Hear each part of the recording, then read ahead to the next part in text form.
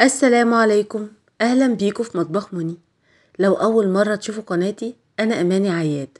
بقدم وصفات صحية لكل أنواع ال diet وصفات كتير كمان لل keto diet ولمرضى السكري. هنعمل النهاردة وصفة جميلة جدا كيكة اليوسفي أو كيكة اليوستفندي هنعملها بطريقة سهلة بمكونات بسيطة كيكة فردية ناكلها كلها مفيش أي مشكلة. طعمها جميل جدا. free gluten من غير دقيق ولا شوفان. وكمان ما بترفعش مستوى السكر في الدم يعني مناسبة لمرضى السكري ومقاومة الأنسولين وكمان هنعملها من غير أي مواد دهنية. شايفين الكيكة التحفة دي؟ يلا بينا نشوف طريقة العمل. أنا هعمل الوصفة دي وصفة فردية فأنا هحتاج حبة واحدة بس من اليوستفندي ولو مفيش يوستفندي وعايزين تعملوها بالبرتقان خدوا نص برتقانة يعني نص واحدة علشان المقادير تبقى مظبوطة. أنا هستعمل في الوصفة حبة واحدة من اليوسفي بالحجم ده كده أو اليوستفندي. وبعد ما قشرناها بالشكل ده طبعا بيكون جواها بذر. فأسهل وأسرع حاجة إن إحنا نقسمها من النص بالشكل ده كده ونجيب سكينة مدببة كده ونبدأ نشيل البذر أو الحب اللي جوه ده بيطلع معانا بسهولة. هعمل النص التاني بنفس الطريقة. هنجيب برضو قطعة صغيرة كده من القشر بتاعت اليوستفندي والخطوة دي اختيارية. ده علشان نعلي الريحة كده والطعم بتاعت اليوستفندي لو مش عايزين بلاش. آه هنحط عليها بقى دلوقتي بيضة واحدة صغيرة مش كبيرة بيضة صغيرة. وللتحلية أنا هحط كيس واحد من سكر استيفيا الكيس ده وزنه اتنين ونص جرام. طبعا بالنسبة لل diet العادي لو عايزين تحطوا عسل أو دبس تمر زي ما أنتوا عايزين. لكن بالنسبة لمرضى السكري بنستعمل سكر diet. بعد ما حطيت كيس واحد من سكر استيفيا حطيت تقريبا كده نص معلقة صغيرة من الخل الأبيض. وبعد كده هجيب ال hand blender ونبدأ نفرم الحاجات دي ناعم. لو عايزين تحطوا في الخلاط مفيش أي مشكلة يعني زي ما تحبوا. لكن أنا أسهل حاجة بالنسبة لي أستعمل hand blender. بعد ما فرمت الخليط ناعم بالشكل ده بقى معانا بالشكل ده كده سائل بالشكل ده كده خلاص جاهز معانا. يلا بينا بقى دلوقتي نضيف المادة الجافة. أنا هستعمل في الوصفة مبشور جوز الهند. أنا هستعمل في الوصفة مبشور جوز الهند الخشن مش دقيق جوز الهند. هنحط الأول كده بمعيار معلقة الطعام أو المعلقة القياسية الكبيرة تلات معالق وهنقلب نشوف هنحتاج تاني ولا لأ علشان هوريكم القوام اللي إحنا لازم نوصل ليه. حطيت الأول كده تلات معالق كبار من مبشور جوز الهند وبعد كده حطيت ربع معلقة صغيرة من ال baking powder وقلبتهم مع بعض بالمعلقة كده حسيت إن القوام لسه خفيف. فرجعت تاني زودت معلقة كبيرة من مبشور جوز الهند. ونقلبهم مع بعض ونشوف القوام مظبوط ولا هنحتاج لسه. طبعا بعد ما قلبتهم كان القوام خفيف كده فزودت بقى دلوقتي المعلقة الرابعة.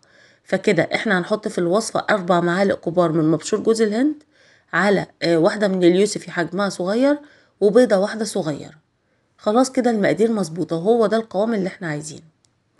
طيب لو عايزين بديل لمبشور جوز الهند هنحط إيه في الوصفة؟ ممكن تحطوا مطحون الشوفان أو تحطوا دقيق اللوز أو دقيق الحمص بس أهم حاجة توصلوا للقوام إن هو يكون معانا بالشكل ده. دلوقتي بقى يلا بينا نعمل الكيكة. الكيكة دي كيكة فردية فتجيبوا أي قالب كده يكون حجمه متوسط بالشكل ده كده وتعملوا فيه أي مسحة كده من أي مادة دهنية. أنا حطيت مسحة بسيطة كده من السمنة البلدي ده بس علشان إيه؟ الكيكة تطلع معانا بسهولة شوية. أو تحطوا ورق زبدة. بس أنا حبيت إن أنا محطش ورق زبدة علشان يعني يكون متاح للكل زي يعملوا الوصفة. بعد كده حطيت الخليط بتاع الكيك بيكون معانا القوام بالشكل ده. هنظبطه بقى دلوقتي ونستعد كده إن إحنا ندخله الفرن. طيب لو مش عايزين تسووه في الفرن ممكن إن أنتوا تحطوه في الميكروويف وهيكون أفضل لأن هيسرع علينا الوقت. تدخلوه الميكروويف لمدة دقيقتين أو 3 دقايق لغاية لما يستوي. أو كمان ممكن إن أنتوا تحطوه في ال air fryer لمدة عشر دقايق أو اتناشر دقيقة كده وهيطلع معاكم مستوي ومتحمر. لكن أنا هسويه في الفرن علشان يكون متاح للكل. هناخد بقى دلوقتي الطاجن ده وندخله الفرن. وده شكلها معانا بعد ما استوت. بتقعد في الفرن من خمسة وعشرين لتلاتين دقيقة على درجة حرارة مية وتمانين في الرف الأوسط من الفرن وطبعا بيكون الفرن سخن قبلها. علشان كده بقول في الميكرويف بتكون أسرع يعني 3 دقايق وبتطلع معانا زي الفل. ده طبعا في الميكرويف لكن في الفرن بتقعد من 25 ل 30 دقيقة وبعد كده بنشغل الشواية نحمر الوش بتاعها. وبتطلع معانا بقى بالشكل التحفة ده. شايفين ما شاء الله شكلها جميل جدا. وعلشان بقى نتأكد إن هي استوت معانا نجيب كده بقى اللي هي الخلة أو سكينة رفيعة كده وندخلها في نص الكيكة من جوه. لو طلعت معانا ناشفة يبقى هي كده مستوية وزي الفل. يلا بينا بقى دلوقتي ان إحنا نزينها. ممكن طبعا نكتفي لغاية كده وتبقى كيكة حلوة جدا لكن دايما أنا بحب كده أدلع الكيك لو عندي حاجة إن أنا أحطها عليه. فأنا بقى دلوقتي هحط عليه إيه بقى؟ هحط وصفة الحليب المكثف المحلى المناسب للدايت لغاية المرحلة بتاعة الكيك فهي كمان مناسبة لمرضى حساسية الألبان لأن ما حطناش منتجات ألبان. لكن دلوقتي أنا بحط حليب مكثف محلى مناسب لل diet وكمان لل keto diet.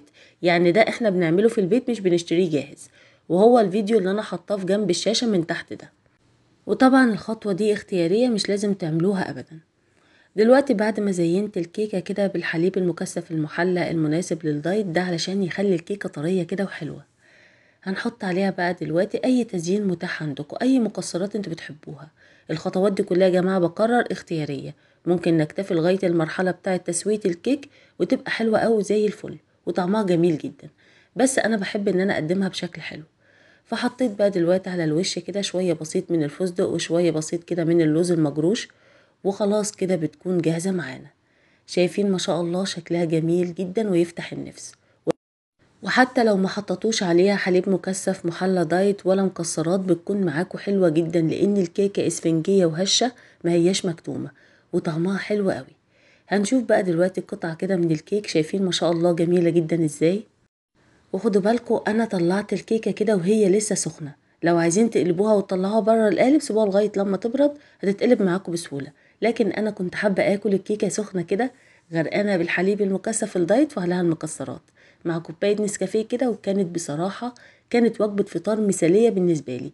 طعمها جميل جدا مشبعة قوي قوي وتحس كده إن هي بتديك سعادة كده في بداية اليوم. بتكون معانا بقى بالشكل التحفة ده.